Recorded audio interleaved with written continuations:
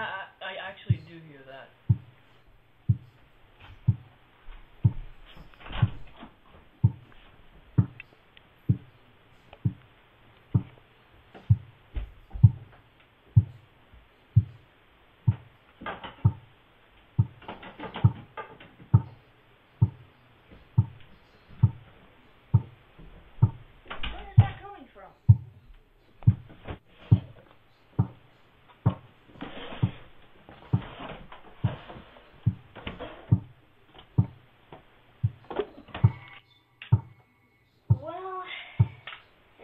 somewhere.